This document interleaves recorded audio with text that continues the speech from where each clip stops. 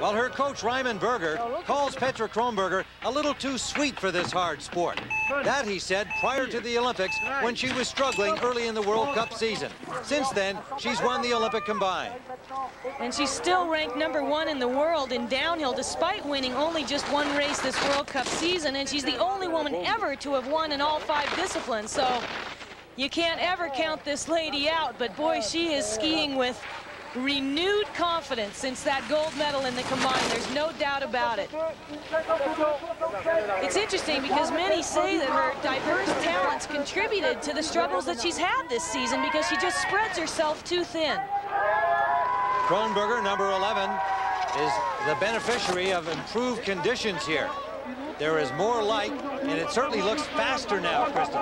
Well, generally, when it stops snowing and the fog lifts and it's probably getting a little bit because of that, the track should get faster. Through this bump combination, she's in great shape, getting more air, and that's happening with this increased speed. A little bit behind at that split, but boy, she's skiing well. She's staying so contained. And again, look at how good the visibility is down here. She's got to take advantage of this. She's a very lucky lady.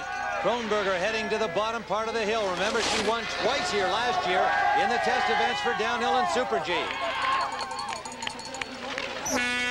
At that split, although she's behind Seizinger, she's well ahead of Gutensohn's split, so she's in silver medal contention right at this point. Knowing Kronberger, she's got the gold in mind. She's letting herself get bounced around a little bit here, but she certainly has the strength to be able to make up the time. Only three tenths. Boy, I don't know. She's got to make some really clean turns down here on the bottom. These last two or three races have been going fast on the bottom, too. Seizinger's time to beat, 152.67. Kronberger, it'll be close. Six one-hundredths behind. Kronberger just shy of Seizinger, holding the silver medal spot right now. There'll be no second consecutive gold for Petra. Seizinger obviously relieved.